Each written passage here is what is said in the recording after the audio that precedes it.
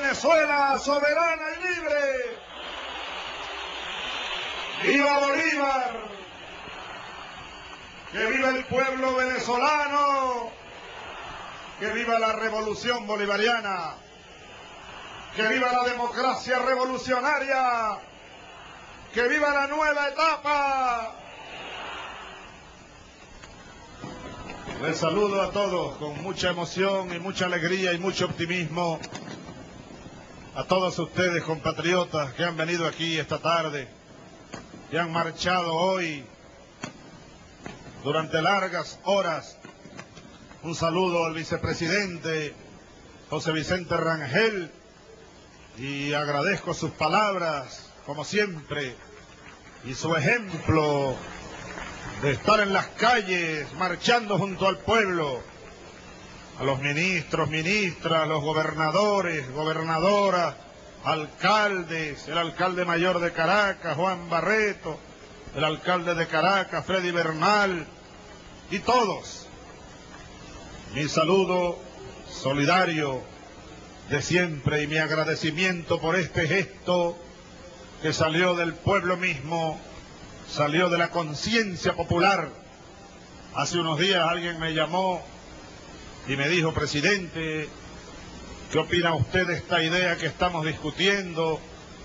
Nos dicen en los barrios, nos llaman de las comunidades, a través de tantos canales, a través de los cuales hoy el pueblo expresa sus opiniones, sus deseos, sus ideas, sus orientaciones, a nosotros quienes ejercemos las funciones de gobierno. Y me preguntaban, ¿qué opina usted? Porque hay, hay un clamor por todo el país. Hay una idea que está creciendo por todas partes, con mucha fuerza. Es la idea de hacer una gran marcha. El próximo domingo, me dijeron, 23 de enero. Ese día es domingo, háyalo presidente. ¿Qué opina usted? Le dije, le dije a quien me llamó que si esa era, como se me estaba informando, pues la idea que corría por todas partes y la opinión y prácticamente la decisión del pueblo de marchar hoy 23 de enero, pues que yo me sumaba a la decisión del pueblo venezolano y que bienvenida la jornada de esta gran marcha nacional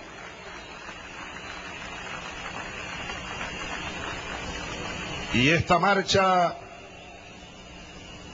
coincide con esta fecha de hoy. Coincide con la fecha de hoy, fecha histórica, fecha de pueblo y de soldados patriotas que en estas mismas calles, en 1958, llevaron adelante aquella jornada en búsqueda del camino hacia la reivindicación nacional.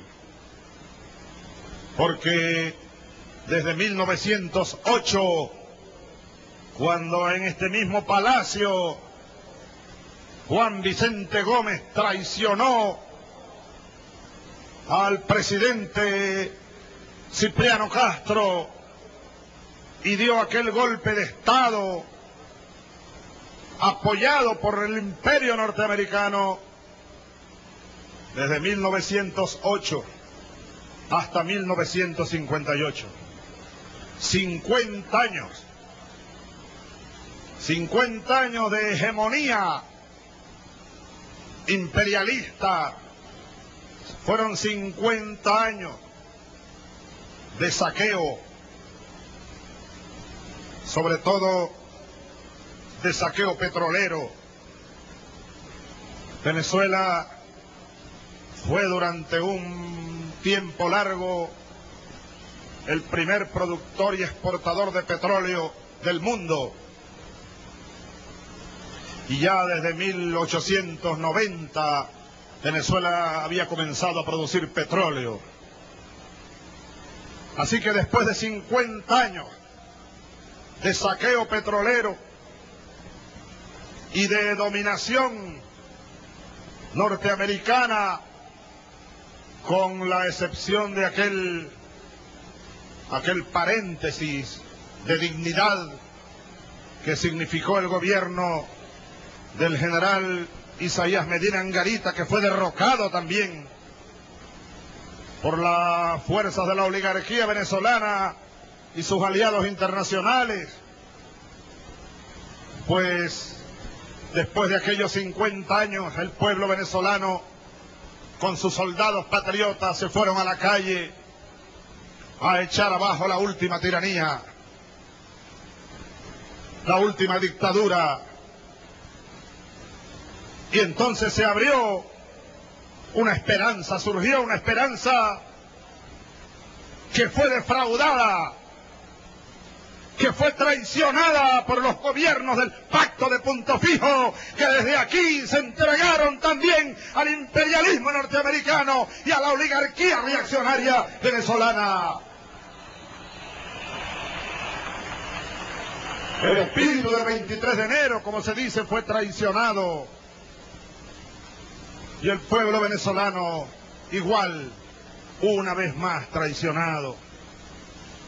Y pasaron 40 años más, desde 1958 hasta 1998. Fueron esos 90 años, desde 1908 hasta 1998, en los cuales 90 años casi que nos acercamos al, a los 100 años de Gabriel García Márquez, a los 100 años de soledad. Fueron 90 años de hegemonía, con el pequeño paréntesis de dignidad que ya señalé. Y llegó aquí un gobierno, el gobierno bolivariano, señalando, recogiendo el clamor de un pueblo y señalando el camino hacia la construcción de una república verdadera. Han pasado seis años desde entonces y la fuerza bolivariana no ha hecho sino crecer en Venezuela y crecer en la América Latina y crecer en el Caribe. Y aquí está una demostración más. Y las fuerzas bolivarianas seguirán creciendo. La América Latina va cambiando. El mundo va cambiando. La América del Sur, por ejemplo, ha dado pasos importantes en los últimos años en la búsqueda de un modelo de integración que restituya el proyecto de Bolívar, el proyecto de Miranda, el proyecto de Sucre, el proyecto de San Martín, de Artigas, de O'Higgins, de los libertadores de Abreu de Lima, el proyecto de integrar Sudamérica y el Caribe como una verdadera plataforma de libertad, de igualdad, de justicia y de vida digna para los pueblos, donde reine la justicia, decía Bolívar, y donde nuestros pueblos vivan con la mayor suma de felicidad posible en estos últimos años hemos venido viendo desde aquí participando en ese proceso de avance de un proyecto unitario de la América Latina, del Caribe y más últimamente de Sudamérica. Ahora, esta marcha de hoy recoge la consigna popular, recoge el sentimiento popular, y lo lanza a los cuatro vientos para que el mundo vea, para que se den cuenta.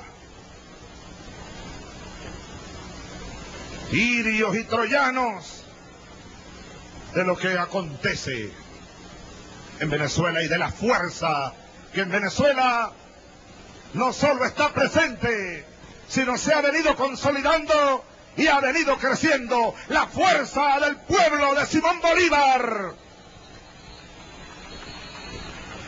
la fuerza moral, la fuerza material, la fuerza espiritual, la fuerza física, la fuerza económica, la fuerza nacional que aquí se ha venido consolidando.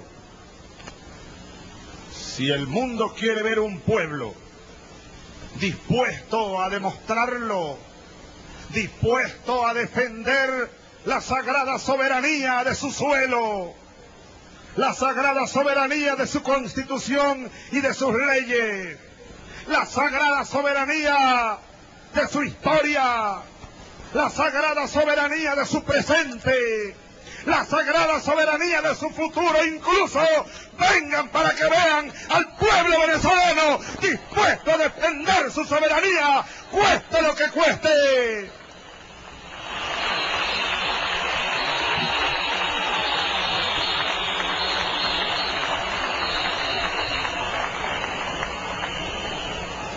Yo debo decirles que estoy absolutamente convencido. Y es necesario que el país todo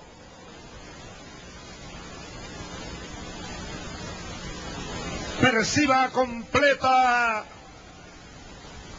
y perfectamente la realidad que rodea el evento ocurrido aquí en Caracas el pasado 13 de diciembre y que ha generado un torbellino de otros eventos, declaraciones y que ha generado una crisis verdadera, porque nadie lo va a negar, no. A las cosas hay que llamarlas por su nombre, al pan pan y al vino vino. Se ha generado una crisis de verdad en las relaciones entre el Estado colombiano y el Estado venezolano, entre el gobierno colombiano y el gobierno venezolano. Donde nunca habrá crisis alguna es en las relaciones profundas entre el pueblo venezolano y el pueblo colombiano. Ahí nunca habrá crisis ninguna.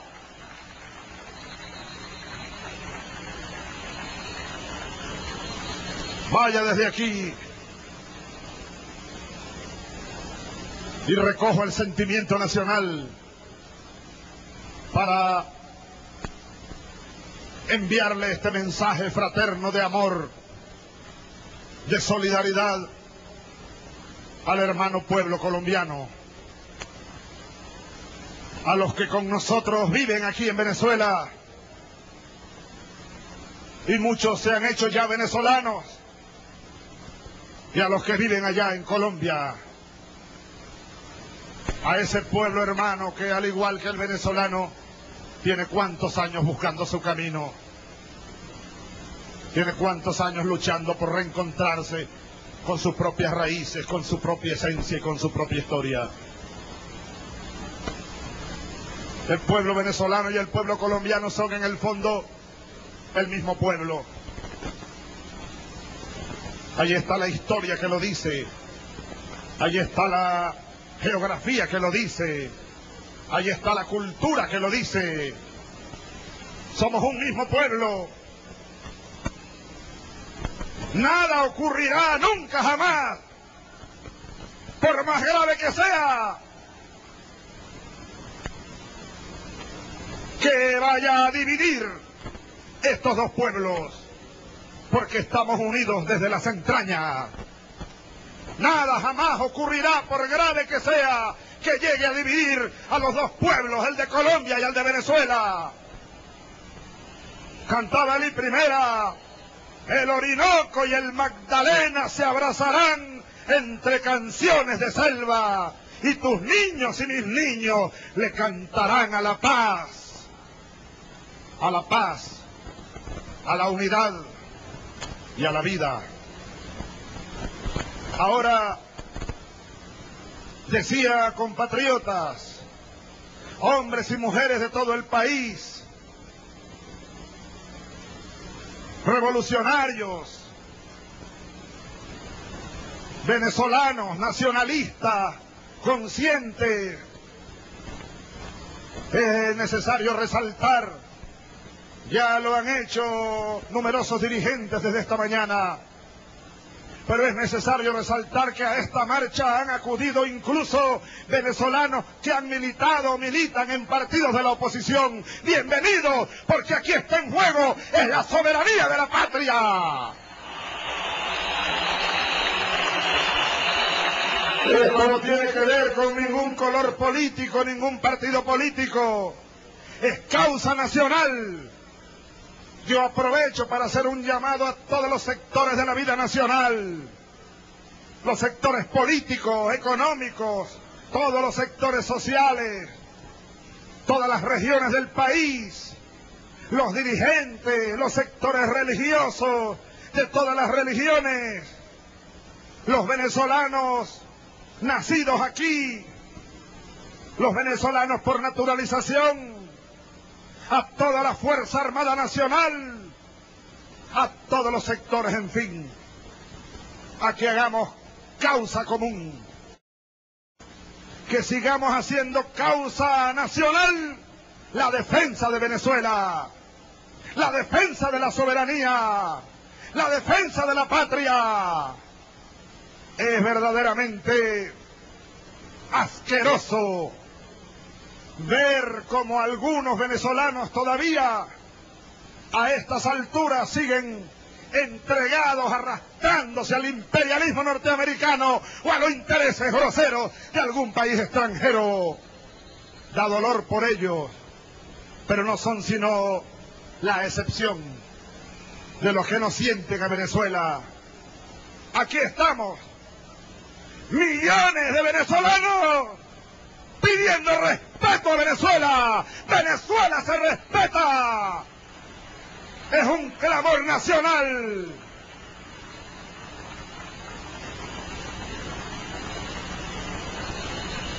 Es un verdadero clamor nacional. Exigimos a todos los gobiernos del mundo, a todas las instituciones mundiales, internacionales que se respete la soberanía de Venezuela. Y advertimos que estamos dispuestos a hacer respetar esa soberanía de distintas maneras. Y para ello estamos unidos los venezolanos y las venezolanas. Ahora les voy a decir otra cosa en cuanto a este gravísimo hecho que ha generado una crisis en las relaciones diplomáticas, políticas, económicas entre el Estado y el gobierno de Colombia, el Estado y el gobierno de Venezuela. En cuanto a ese asunto, yo Ya he dicho lo que por ahora he tenido que decir. Ya he manifestado mi opinión, que no es mi opinión, sino la opinión del gobierno nacional y la opinión de la gran mayoría de todos los venezolanos. Y solo pudiera hoy ratificar lo que ya he dicho. En primer lugar, en primer lugar, nadie puede negar, nadie en este planeta debería negar que lo que ha hecho Colombia o el gobierno de Colombia es violatorio del derecho internacional, es violatorio del respeto entre las naciones, es violatorio a la hermandad entre los pueblos, es violatorio a la soberanía de los pueblos. Bueno, el único país, o el único gobierno más bien, que ha salido de manera apresurada y rápida a defender este atropello y esta vulgaridad además del gobierno de Colombia, pues ya sabemos, el gobierno imperialista de los Estados Unidos. Han salido rápidamente a apoyar esta violación a la soberanía venezolana. Difícilmente otro país del mundo u otro gobierno del mundo salga a apoyar un hecho grosero como este. Desde ese punto de vista, el gobierno de los Estados Unidos vuelve a quedarse solo en este continente, cada día más solo en el mundo.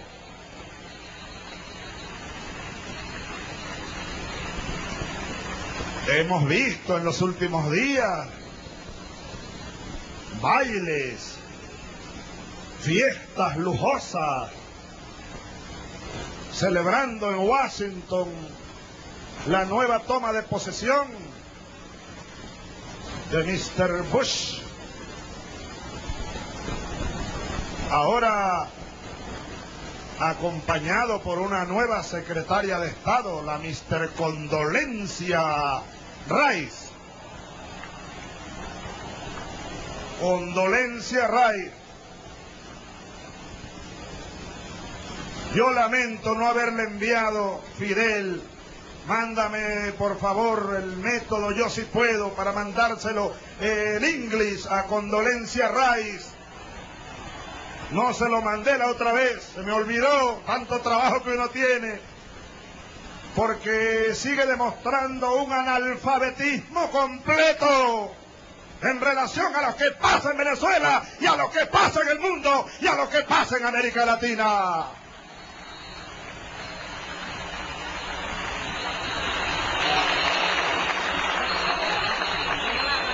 Alguien me recomendaba hace poco que en relación al caso de Condolencia Rice, quien ha dicho hace unos días, primero dijo que estaba muy molesta.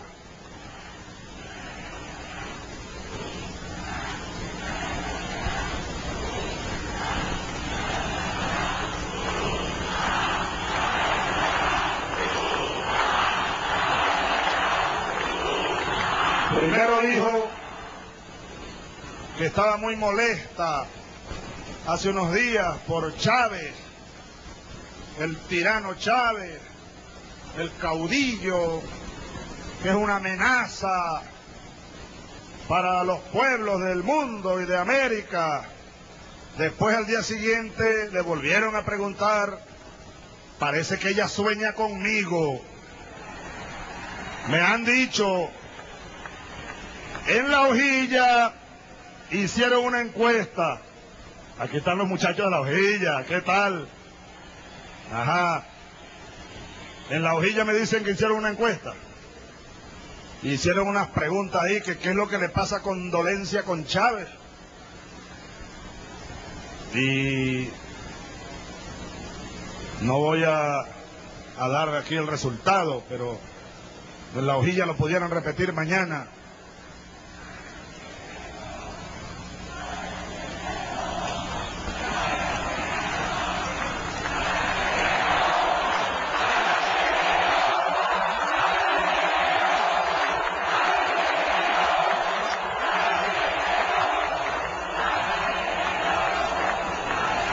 Miren, aun cuando ella es la canciller de aquel gobierno imperialista y le tocaría al doctor Ali Rodríguez reunirse con ella, soy capaz de invitarla a una reunión. A ver, a decir qué le pasa, qué te pasa a ti conmigo, pues. Vamos a arreglar esto, a ver. ¿Quieren ustedes que la invite? Yo hago lo que ustedes me digan. Hace poco me recomendaba a alguien, mira, ¿por qué no le propones matrimonio? A ver si eso se arregla. Le propongo matrimonio. Qué mala suerte tiene esta dama, dijeron ustedes que no. Bueno, pero verdaderamente que dijo primero que estaba muy molesta Al día siguiente cambió, esto sería bueno para que lo analizara un buen psiquiatra, porque al día siguiente le vuelven a preguntar y lo que dijo es que no estaba molesta, no, sino que ahora estaba muy triste. Ay, papá.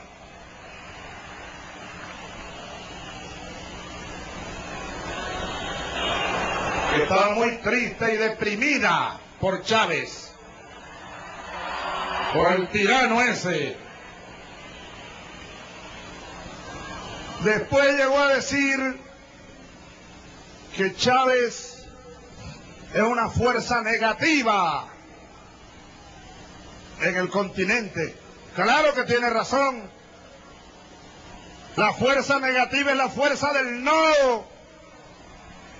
Del no del 15 de agosto. Nosotros somos aquí una fuerza negativa porque le decimos no al imperialismo. Porque le decimos no a la dominación. Porque le decimos no al atropello a los pueblos. Porque le decimos no a la explotación de los pueblos. Por eso somos, amiga condolencia, una fuerza negativa. Esto tiene que ver con la matemática también. Porque la fuerza más negativa que pueda haber, no solo para el continente americano, sino para el mundo entero, es el gobierno de los Estados Unidos y el poder del imperialismo norteamericano. Esa es la fuerza más negativa que pueda haber para este mundo. Por tanto, si somos calificados desde allá como una fuerza negativa, significa que estamos bien, porque menos por menos da más.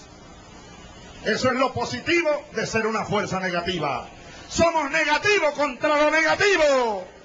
Y decimos no al imperialismo.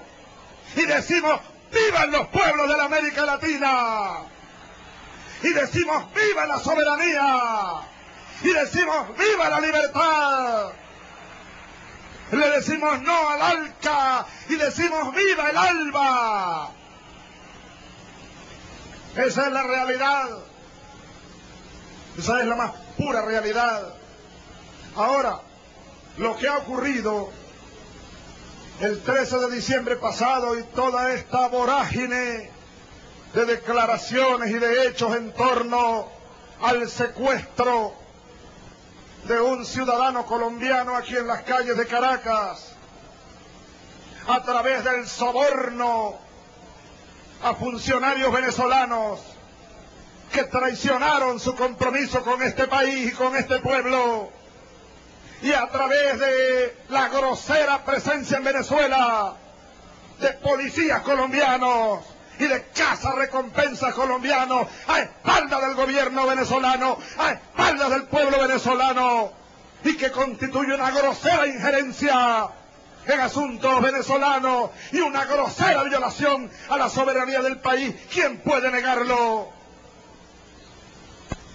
Este hecho, sin embargo, no ha sido planificado en Bogotá.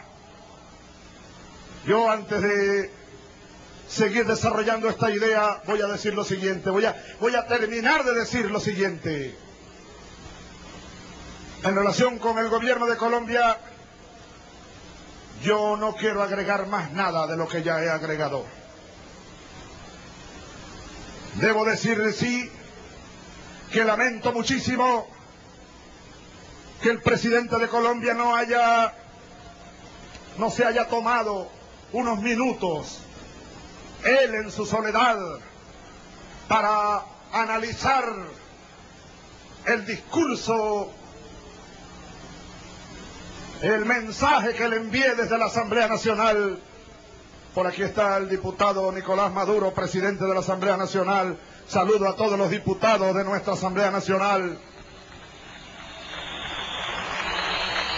Lamento muchísimo que el presidente de Colombia no se haya tomado un tiempito, un tiempito, cuando uno está en funciones de Estado, debe tener calma y tomarse un tiempito siempre antes de responder cosas tan delicadas o antes de tomar decisiones. Fíjense el tiempito que yo me tomé, un tiempito de varios días, desde que me enteré del hecho, estaba en China por la Navidad cuando empezaron a llegarme los primeros informes, las primeras sospechas de que algo raro estaba ocurriendo en este caso. Me tomé toda la Navidad, no quise responder desde China, regresé, evalué, pensé, leí, medité, me fui unos días a las sabanas de Barinas con mis familiares más cercanos a esperar el año nuevo. Desde allá llamé al presidente Uribe y le di feliz año. Y le dije, presidente, hay unos temitas por ahí un poco delicados que requieren nuestra atención cuidadosa y a lo mejor una entrevista que lo hablemos personalmente porque por teléfono estos temas a veces no se deben hablar. Feliz año. Todo ese tiempo y toda esa meditación, porque yo estoy consciente de dónde viene la provocación. Viene de Washington, no de Bogotá, es una nueva arremetida del imperialismo norteamericano. Este hecho del secuestro de Granda en Caracas. Y yo no quería que esa provocación imperialista lesionara unas relaciones tan importantes, unas relaciones que habíamos venido trabajando con sumo cuidado, con suma paciencia y con suma atención, delicada atención, hasta en los más pequeños detalles, para no generar nunca, recuerdo la visita del presidente Uribe al tablazo, nunca, nunca presidente venezolano alguno se había atrevido a aprobar un proyecto binacional en el Golfo de Venezuela. Hasta que yo dije, asumo la responsabilidad porque me parece necesario el proyecto del gasoducto binacional desde el Caribe colombiano hasta la península de Paraguaná. Para poner un ejemplo de hasta dónde, con cierta audacia incluso, fui avanzando para ir construyendo un sistema de relaciones políticas, económicas, sociales.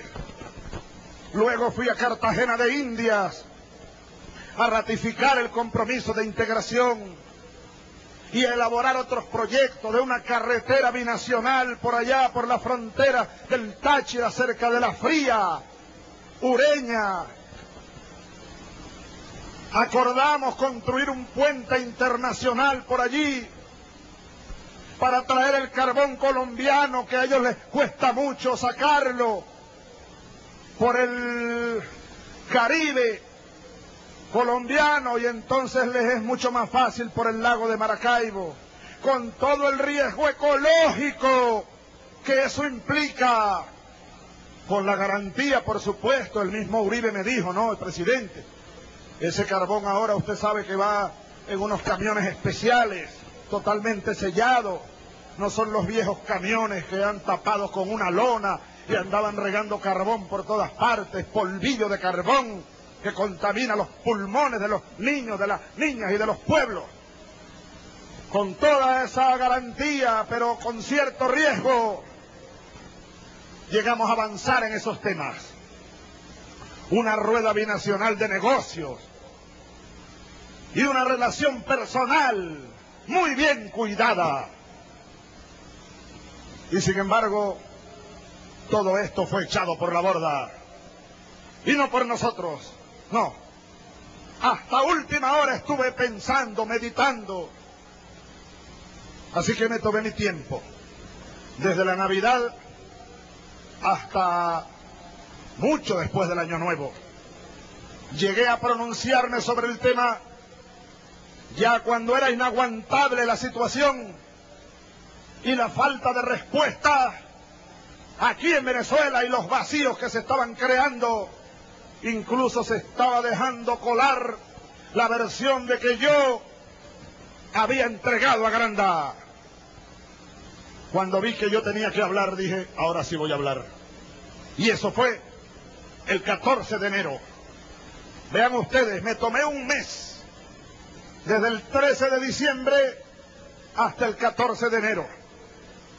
Sin embargo, lamentablemente del lado colombiano no hubo nada parecido, sino que el mismo día respondieron con un grosero comunicado,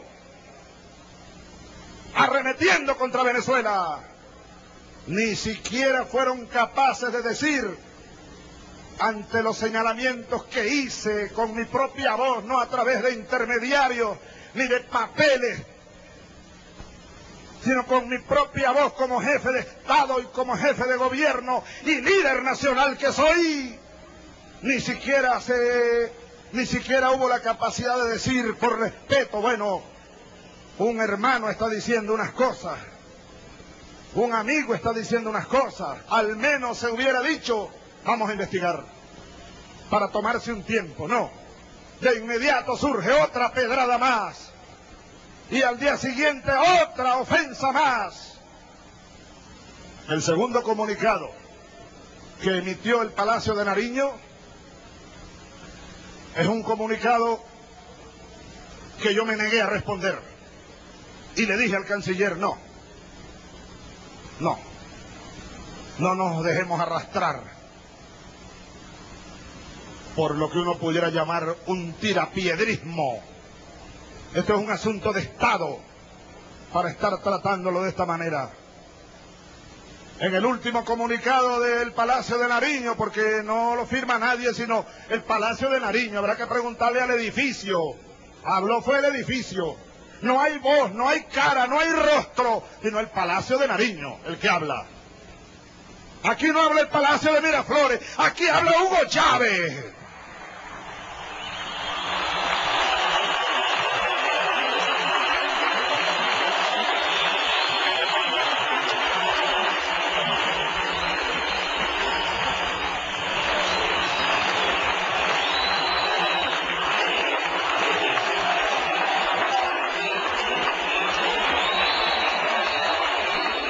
El segundo comunicado es más grosero aún que el propio hecho de secuestrar aquí en Caracas a un colombiano y llevárselo para allá. Porque en ese comunicado se llega incluso a decir que el que está violada es la soberanía, pero de la de Colombia. Vean ustedes, el mundo al revés, como diría Eduardo Galeano y que Colombia tiene derecho a defender su soberanía y que Venezuela está ocultando guerrilleros y terroristas. Algo totalmente falso, insisto en ello. No tiene mi gobierno ni tendrá acuerdo alguno con ningún tipo de movimiento subversivo, guerrillero, terrorista o como quieran llamarlo. Absolutamente ninguno. Ahora, entonces decidí no responder ese segundo comunicado porque ya era el extremo de la grosería. Y más bien le dije al canciller, vamos a esperar a ver si hay alguna señal del lado del gobierno de Colombia. Hasta ahora ha habido algunas tímidas señales, pero todas en privado, todas por teléfono, llamadas que aquí respondemos, el canciller con la cancillera, algunos amigos de América Latina que han de buena fe o porque el gobierno de Colombia se los ha pedido, han venido por allí. Ayer conversé varias horas con el asesor internacional del compañero presidente Luis Lula da Silva, el compañero Marco Aurelio García, recibí llamadas de varios presidentes, vino el canciller del Perú también a hablar el tema. Yo les he dicho a todos, por mí no se preocupen, yo estoy tranquilo. El que no la debe, no la teme.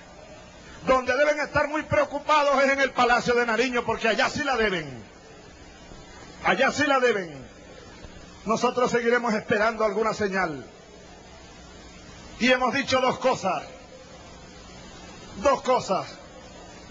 Al menos esperamos. Primero, el gobierno de Colombia debe, de alguna manera, de alguna manera, no le estamos pidiendo tampoco que se arrodillen, que se humillen, no. Los respetamos como gobierno.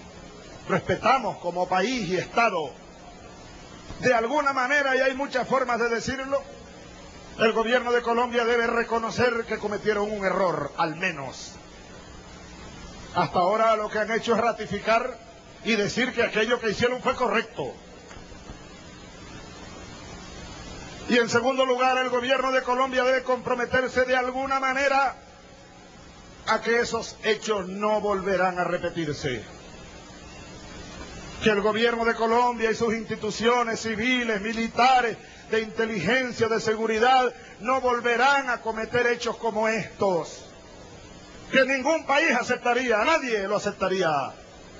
Nadie, quien va a aceptar que en su casa se meta el vecino a revisar el cuarto o el patio a la macha sin permiso del dueño de casa porque alguien le dijo que ahí estaba la pelota de su hijo que cayó para acá. Nadie lo acepta porque hay dignidad primero. Hay dignidad. Y más aún cuando se trata de un pueblo y de una patria como la patria de Simón Bolívar, el libertador de América.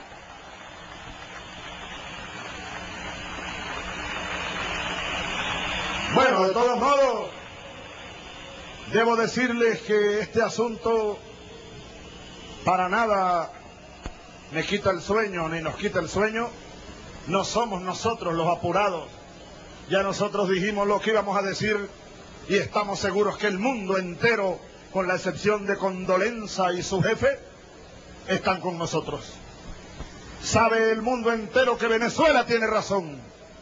Hasta en la misma Colombia hay muchos sectores políticos, económicos, intelectuales, analistas de prensa, que reconocen la verdad, que esto no se puede permitir y que el gobierno de Colombia ha cometido un error, pero tiene que decirlo el gobierno de Colombia. Le corresponde al gobierno de Colombia. Ahora, si esto no ocurriera,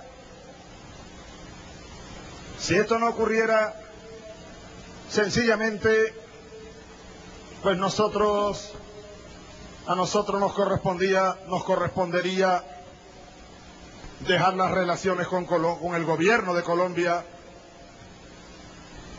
bajo severa observación. Si no hubiera un gesto, al menos que reivindicara a Venezuela, tendríamos que congelar las relaciones con Colombia. Con el gobierno de Colombia tendríamos que alejarnos y congelarnos lamentablemente, porque habíamos venido trabajando bastante. Pero no voy a tener yo relaciones abiertas y francas con un gobierno que no sea capaz de reconocer el error tan grave que ha cometido o que ha cometido un grupo de sus funcionarios. Ojalá que esto ocurra. De todos modos, ya he ordenado tomar las previsiones del caso. El gasoducto transcaribeño, pues se cancelaría a lo mejor más adelante, pero se cancelaría. El puente internacional y la carretera se cancelarían. Cualquier otro convenio que se esté trabajando, que si alianza o apoyo en la gasolina, el petróleo, se cancelaría. Y esto lo lamentamos mucho por el pueblo colombiano, ¿saben? Pero la culpa no es de nosotros, la culpa está allá, no es nuestra la culpa.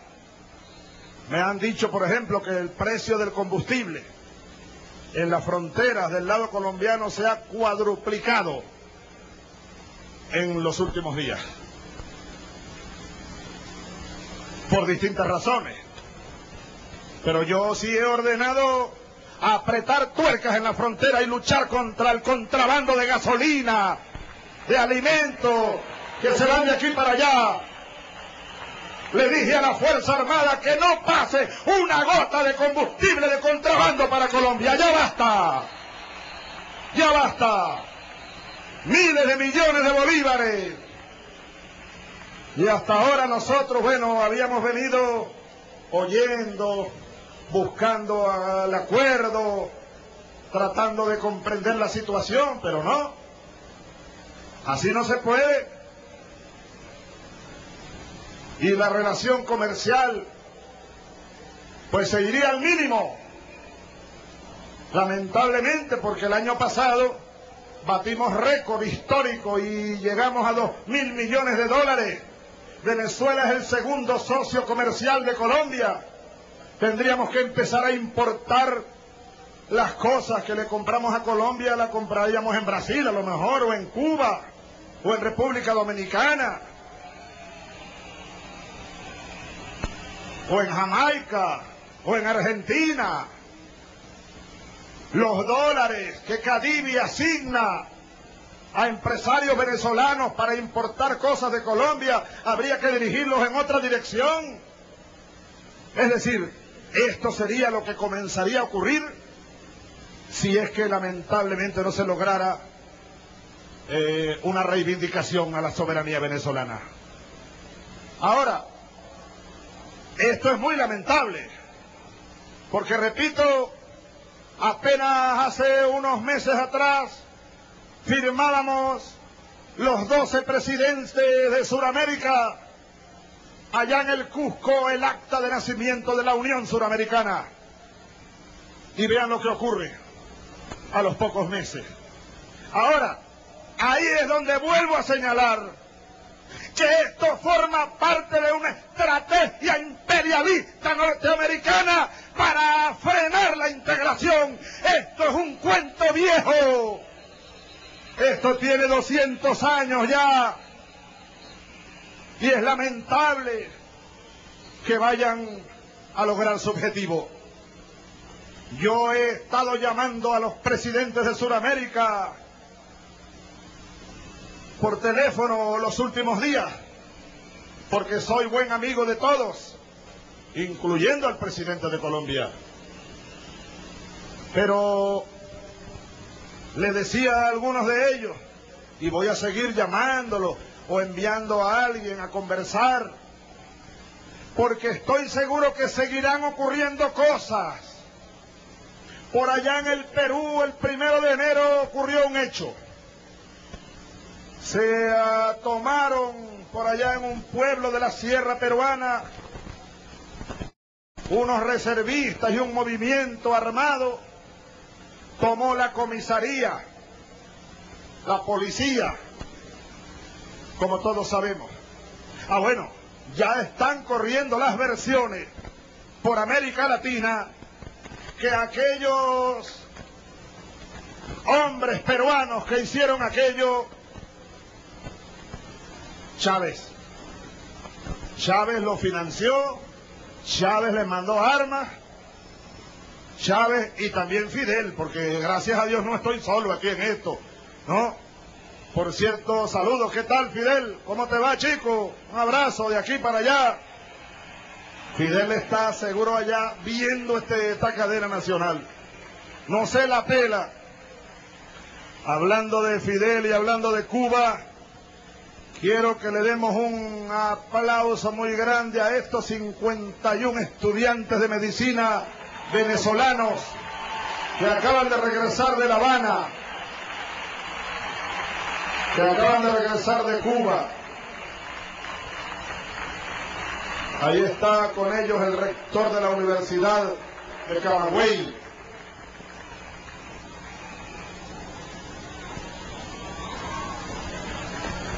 Ah, está aquí con nosotros. Y la vicerrectora en esa universidad están nuestros muchachos. Ustedes recuerdan que ellos se fueron hace seis años de aquí a estudiar medicina. Ahí están ya casi, son médicos y médicas. Han regresado a la patria Claro que nunca han estado fuera de la patria porque Cuba es parte de la patria grande. Han regresado a la patria chica, pues. Han regresado a Venezuela y mañana comienzan un periodo como de una pasantía de tres meses, cobijado por la Universidad Rómulo Gallegos, allá en San Juan de los Morros. Van a estar trabajando tres meses en barrio adentro regresan en abril a Cuba y en agosto se reciben como médicos en la Escuela Internacional de Medicina. Médicos y médicas se gradúan en agosto y me han honrado porque ahora soy el padrino de esta promoción. Que Dios los bendiga, muchachas y muchachos. Ellos son apenas la vanguardia porque tenemos más de 1.500 muchachos estudiando medicina en Cuba. Ellos son la vanguardia y merecen el aplauso y el reconocimiento de todo el pueblo venezolano, muchachos. Los queremos, los amamos. Para la batalla social, para la salud integral, para la lucha por la vida. He tenido la oportunidad de hablar con ellos unas dos horas aquí mismo en el Salón Ayacucho y he sentido de ellos la sensibilidad, el sentimiento, valga la redundancia, he percibido, me he alimentado con esa sensibilidad social, con esa claridad revolucionaria, con esa ética que ustedes representan, muchachos. No se dejen robar el futuro. El futuro es de ustedes, decía el Che Guevara. El presente de lucha, el futuro nos pertenece. Y sobre todo les pertenece a ustedes. Ellos son la vanguardia de la nueva medicina venezolana. El próximo 3 de febrero. Por eso es que yo digo que no me puedo casar con condolencia, porque tengo mucho trabajo. Ella tendrá que buscar otras opciones, que se olvide de mí un poco. ¿Ah? No, Ali Rodríguez pudiera hacer el Cristóbal Jiménez, está ya disponible. Bueno, Juan Barreto está soltero. Que otro haga el sacrificio ese por la patria. Pídanme cualquier otra cosa. No me pidan eso. Colás Maduro. Pedro Carreño. Bueno, miren, el próximo 3 de febrero, como parte de la nueva etapa que ya comienza a tratar de ser saboteada porque esto no es sino el primer globo de ensayo para tratar de desviar nuestra atención, para tratar de crearnos conflictos. Es a todas luces una provocación imperialista y estoy seguro que vendrán más para tratar de desviarnos como ya lo hicimos, no de desviarnos, de frenarnos, que sería lo más que pudieran hacer, frenarnos porque nunca nos van a desviar de este camino, nunca nos van a sacar de este compromiso, nunca van a poder neutralizar y mucho menos eliminar la hermosa revolución pacífica y democrática que en Venezuela se ha liberado para bien de nuestro pueblo. Nunca van a poder lograrlo. Pero esto que ya ha comenzado es la señal de que el gobierno de los Estados Unidos, y lo dicen abiertamente incluso, va a tratar otra vez de hacernos daño. Bastante daño nos hicieron el 2002. Esta calle quedó teñida en sangre. Este palacio fue tomado por la oligarquía y las fuerzas imperialistas. Venezuela toda fue sacudida por una especie de electrochoc.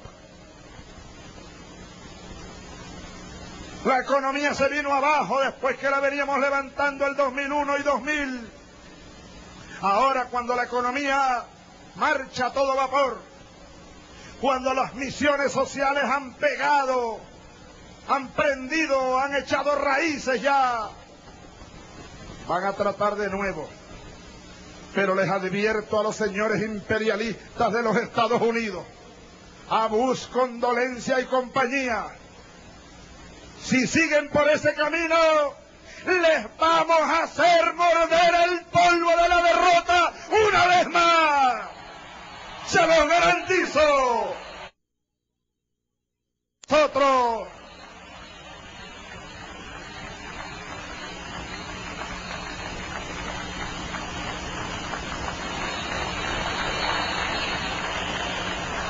Incluso yo voy a repetir algo que dije un día delante de ustedes, porque como yo sé que todos estos planes perversos vienen de allá de Washington, del gobierno de Mr. George W. Bush, voy a repetir lo siguiente. El señor Mr. W. Bush fue reelecto.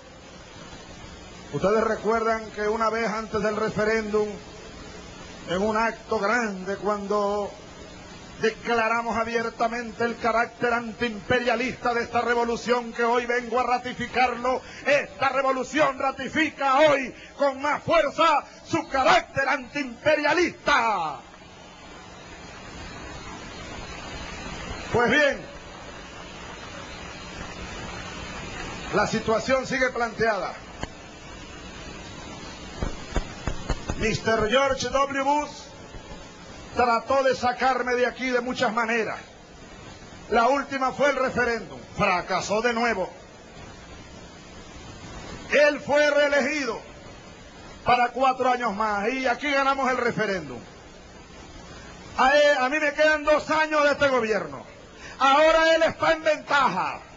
Le doy ventaja en la apuesta, porque él fue reelegido para cuatro años y allá no hay referéndum revocatorio.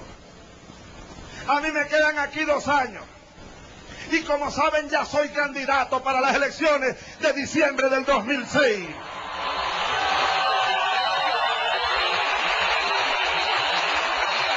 Mr. George W. Bush Yo no cargo cartera aquí, ¿vale? Pero yo cargo, yo, en mi cartera, yo cargo un dólar en mi cartera. Le apuesto un dólar a Mr. Bush a ver quién dura más. Si él allá en la Casa Blanca o este venezolano Hugo Chávez aquí en Miraflores. Vamos a ver quién dura más. Mr. Bush. La apuesta está igualita, intacta. En el aire.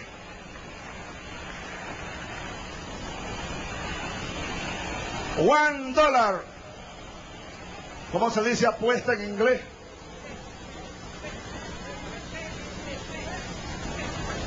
My pet, Mr. Bush, is for one dollar, Mr. Bush.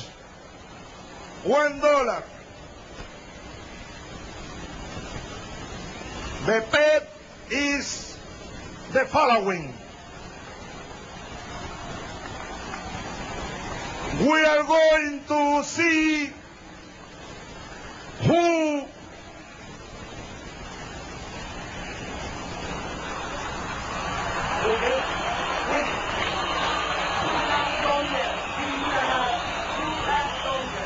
Okay. Thank you, Mr. Moncada, the Minister of Education, said me, the pet Mr. Bush, one dollar is one dollar. It's the following. Who who lasts longer here? You in the White House of me in Miraflores. That's okay, that's okay. That's okay.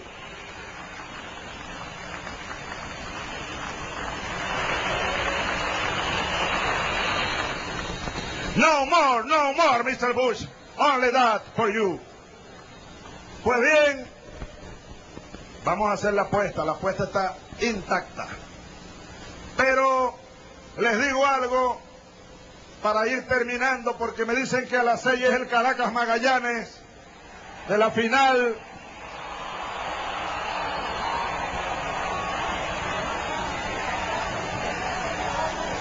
No es Caracas contra Magallanes. Bueno, debo decirles algo. Yo me siento dignamente representado por los Tigres de Aragua.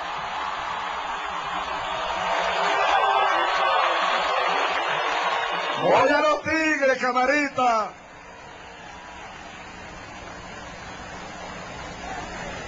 ¿Ah? Bueno, está bien, está bien, está bien. Está bien, no voy a nadie, pues, porque voy al Magallanes para el próximo año. No, que gane el mejor. Creo que Caracas tiene buen picheo. Además tienen a Francisco Rodríguez. Aunque le dieron un toque bola el otro día con tres envases. ¿Qué fue? Ya se van. Se van los muchachos venezolanos, estudiantes de medicina en Cuba. Pido un aplauso para ellos. Se van a San Juan de los Morros. Que Dios los bendiga, muchachos. ¡Viva la patria! Allá van los muchachos. Los futuros médicos, dentro de cinco meses son médicos de la primera promoción de la nueva medicina venezolana. Aquí en Venezuela también hay un grupo de facultades de medicina reformándose por dentro. Hoy hablaba allí con unos muchachos estudiantes de medicina de la Universidad Rómulo Gallego, allá en San Juan de los Morros. Y me consta que en otras facultades eh, está en marcha un proceso de reflexión de reflexión y pronto, pronto, algún día pronto, las universidades venezolanas estarán de verdad a la altura de las necesidades de la sociedad y del pueblo venezolano. Pero bueno, les decía que el próximo 3 de febrero, natalicio de mi general Sucre, ¡viva Sucre! ¡Qué grande era Sucre! ¡Qué grande es Sucre! Aniversario del nacimiento de Sucre, comenzaremos como parte de la misión Sucre. Y esto es parte de la nueva etapa del salto adelante. Este año, en el marco de la misión Sucre, nosotros vamos a incorporar, oíganlo bien, 20 mil jóvenes venezolanos a estudiar medicina aquí en Venezuela, en seis universidades nacionales. La Universidad Bolivariana de Venezuela en primer lugar, la Universidad Rómulo Gallegos, de allá del Guárico, la UNEYE, la Universidad Ezequiel Zamora de los Llanos del Sur, Portuguesa, Cogede, Marinas y Apure, la Universidad de la Fuerza Armada que ha venido creciendo de manera extraordinaria, la Universidad Rafael María Baral, de la costa oriental del lago y la Universidad Francisco de Miranda allá en Falcón. Esas seis universidades van a comenzar a trabajar con barrio adentro para este año incorporar a 20 mil muchachos y muchachas que a lo largo de los próximos cinco años estarán cursando medicina integral de esta manera acelerada. Es parte de la nueva etapa. Como parte de la nueva etapa es el incremento de la misión Vuelvan Cara. Ayer aprobé 300 mil millones de bolívares para la misión Vuelvan Cara en los tres primeros meses del año. Como parte de la nueva etapa es también eh, la aceleración de la misión Barrio Adentro 2 que ya ustedes oyeron para los presidentes la explicación que hice hace dos semanas. La instalación de centros de diagnóstico, 600 en todo el país, de centros de rehabilitación, fisioterapia, de centros de diagnóstico de alta tecnología, Incluye esto a los sectores de la clase media, que también son parte de esta revolución, que también son venezolanos y tienen los mismos derechos y este gobierno gobierna para ellos también. La nueva etapa también implica la aceleración de la misión Rivas, de la misión Robinson, de la misión vivienda. Este año debemos construir 120 mil viviendas para apoyar a los más necesitados.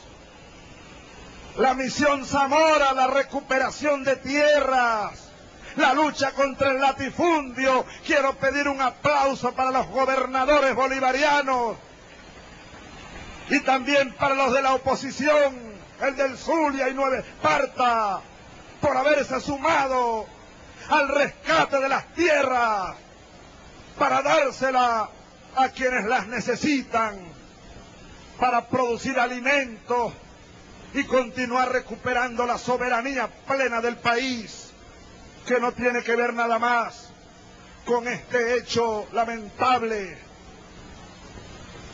con el gobierno de Colombia, ni tiene que ver nada más con las agresiones del gobierno imperialista norteamericano, sino que la soberanía es un concepto integral.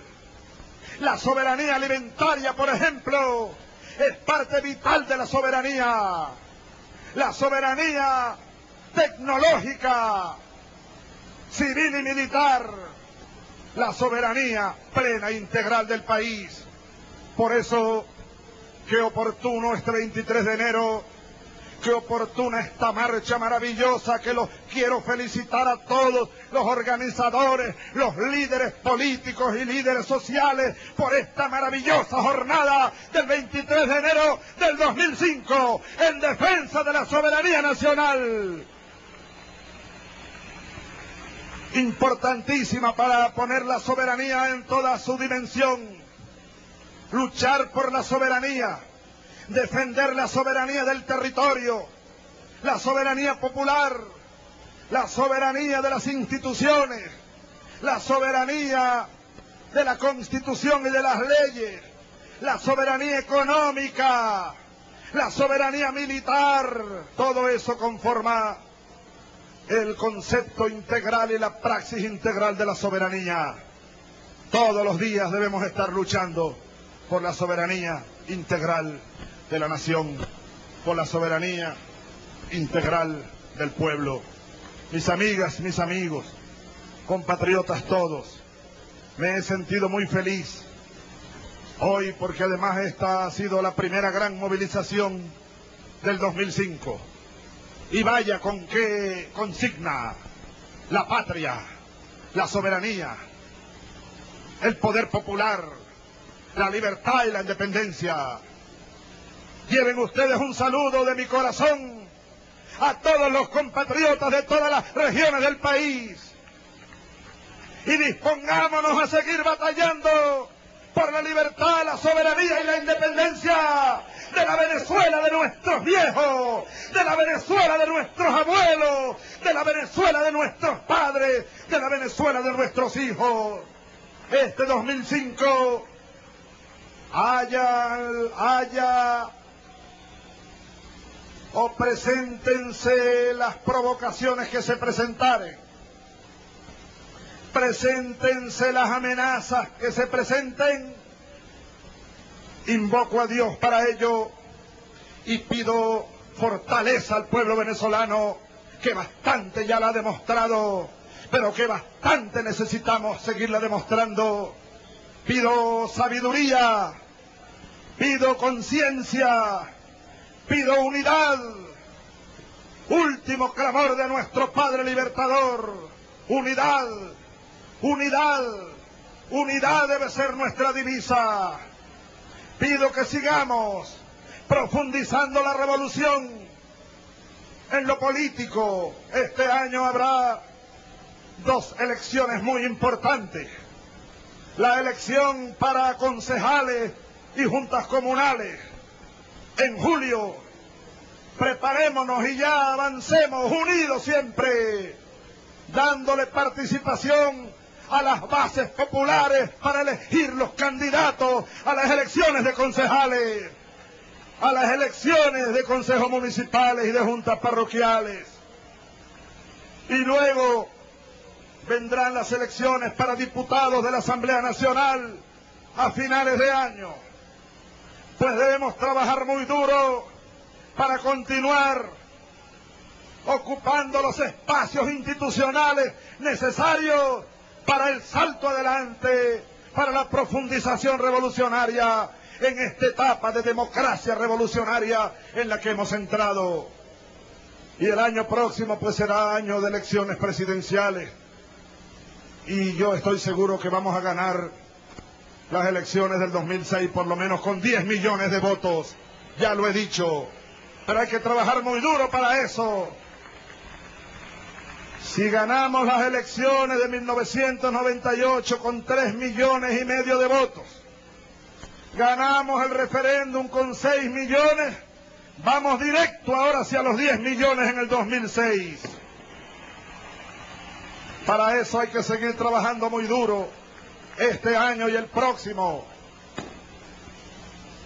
y profundizando los cambios sociales, políticos y económicos. Bastante trabajo tenemos. Vamos unidos. Este año 2005 será un año maravilloso, de salto adelante, de avances significativos. Y es, no lo olvidemos, 2005 el año bicentenario del juramento de Simón Bolívar en el Monte Sacro, junto a su maestro Simón Rodríguez.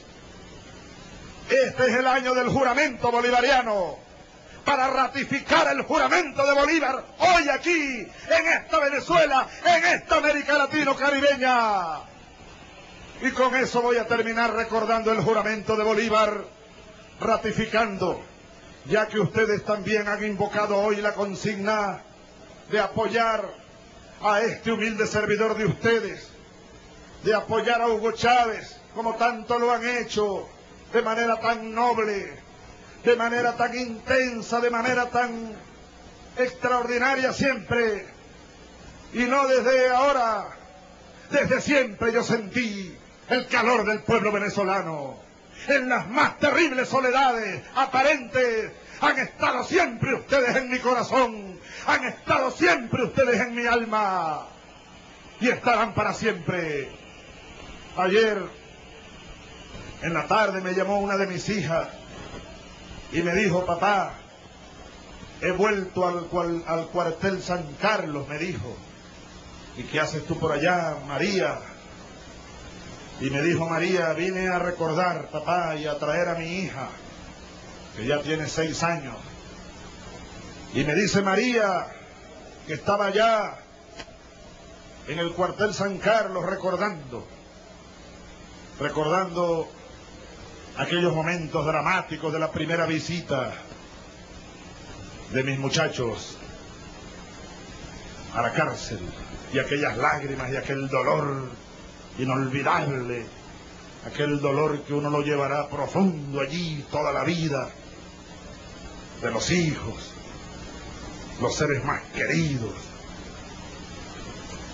Pues desde aquellos días que ayer me hizo recordar María, con compromiso de lucha. Y le dije que orgulloso me siento, María, de que vayas con tu hija, 13 años después, a explicarle a la niña por qué tu abuelo o por qué su abuelo estuvo aquí en alguna ocasión. Desde aquellos días dolorosos de la prisión, de aquí del San Carlos, desde aquellos días dolorosos de allá de Yare, hasta todos aquellos años 94, 95, 96, 97, 98, 99, 2000, 2001, 2002, 2003, 2004.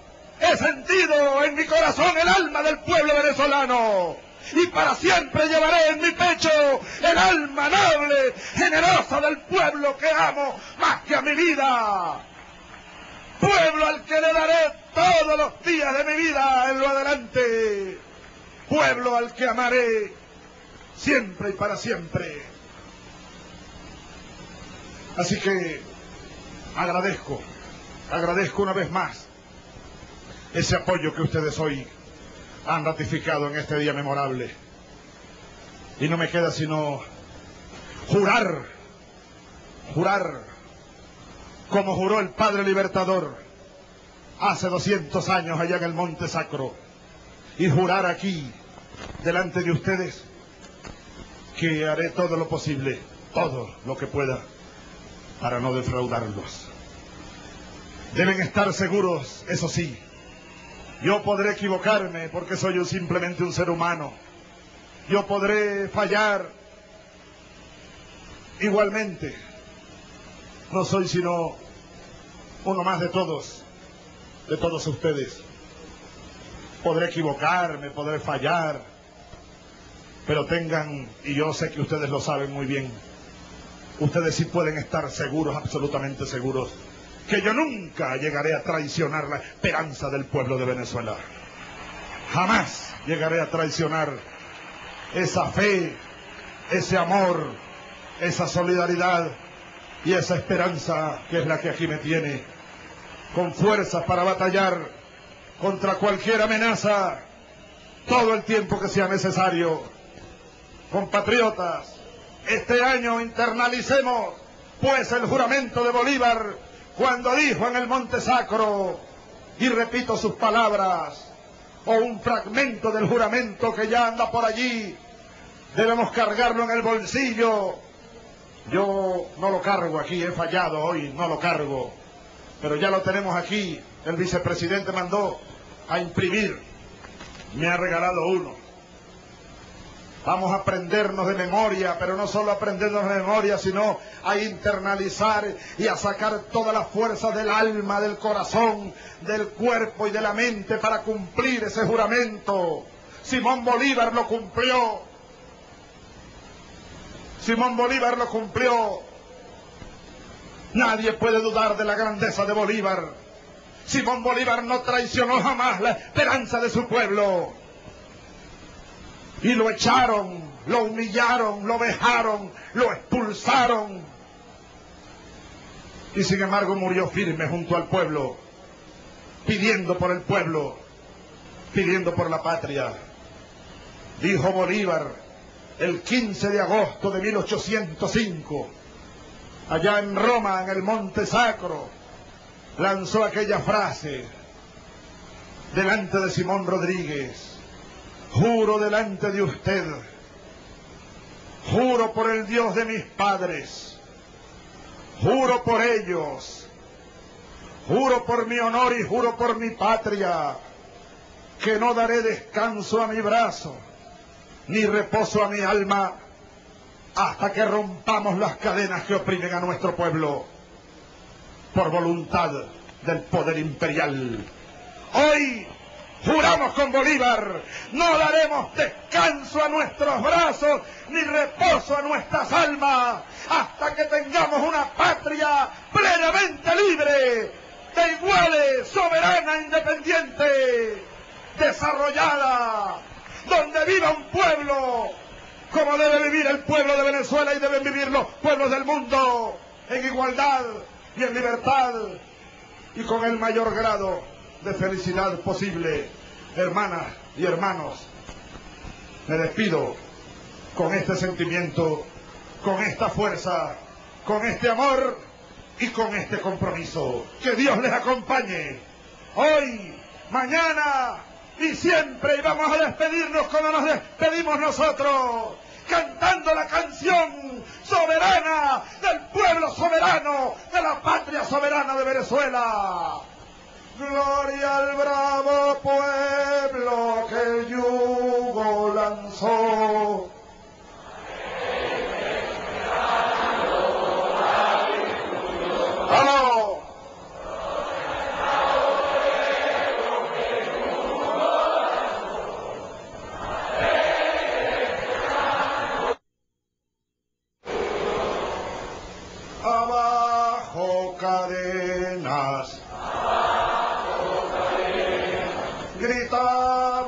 Señor.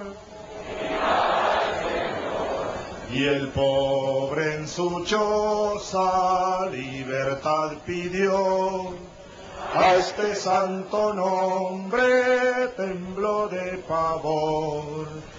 el egoísmo que otra vez triunfó. ¡Arriba! Bendiga hermano y que Dios bendiga Venezuela y que Dios bendiga Colombia. Hasta la vista hermano.